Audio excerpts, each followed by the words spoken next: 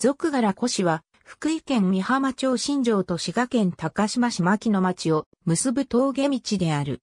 赤坂山の南尾根の標高760メートルの泡柄峠を通る、近江と若狭の国境を結ぶ道の一つである。高若国境の峠道は古くからいくつかあり、サバ街道と言われる、針畑越、熊川宿を通る九里藩街道などあるが、その中でも阿波柄越は、若狭国の最東端の峠道になる。名称は、現在は廃村になった福井県側の阿波柄集落に由来する。古くは、高島越、海津街道とも呼ばれた。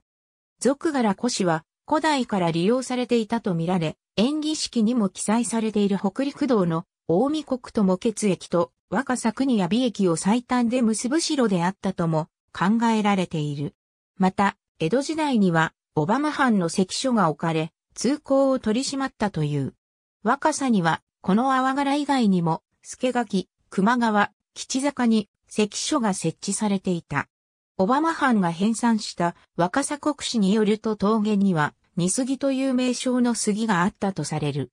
明治時代以降も若狭からの海産物や木炭の輸送路として利用されてきたが、大正時代に泡柄集落が廃村となり、昭和期に入り、ほとんど利用がなくなった。現在は福井、滋賀県の双方からの赤坂山、三国山登山道として利用されている。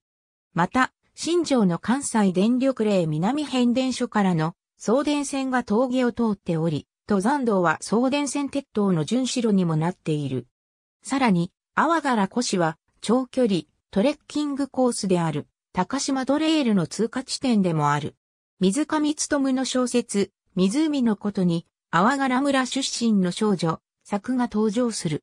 作が滋賀県の静ヶ岳山麓に方向へ行く際、阿波、柄峠を越えるシーンが次のように描かれている。